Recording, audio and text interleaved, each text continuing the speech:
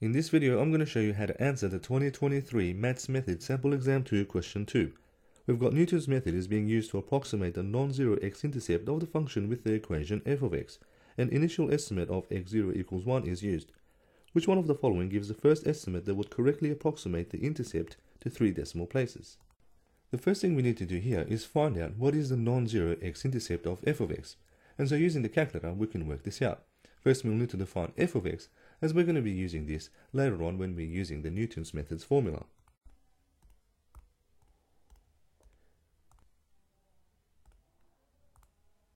Now to find where the x-intercept is, we let f of x equal 0 and then solve for x.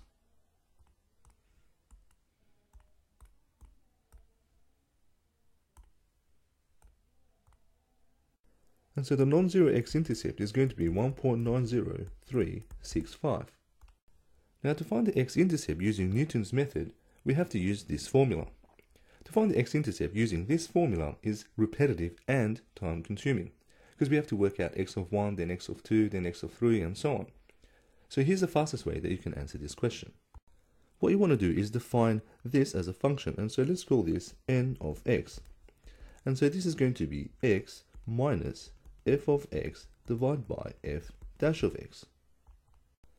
Now instead of working out x of 1, x of 2 and x of 3 and so on one at a time, we can use what is called nests, which allows us to calculate many iterations at once.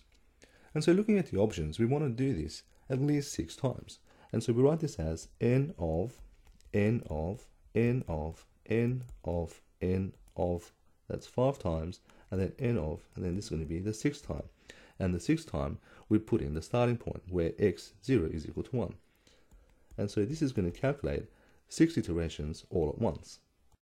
From here, we'll need to define n of x in the calculator.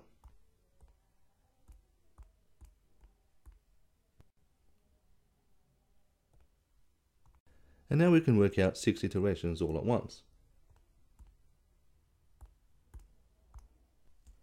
And the trick here is to write the insidemost function as n of 1.0, meaning in decimal form. Because if you just write 1, what's going to happen is the calculator is going to try to work out the answer in exact form. And if you do too many iterations at once, the calculator is going to crash. And so after 6 iterations, we're going to get the x-intercept approximated to 1.96017, which means we need to try again. And so if we do n of the answer, this is going to give us x7. And so this is equal to 1.90564, which is still not the x-intercept. And so if we repeat this again to get x of 8, this is equal to 1.90366.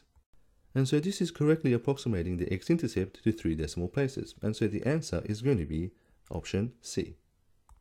And that's it for this question. I hope you found this video helpful, and if you did, comment below and let me know. And consider joining the Maths Methods Club, where you can see video solutions to all past Maths Methods exam questions from 2006 where all the questions are grouped by topic.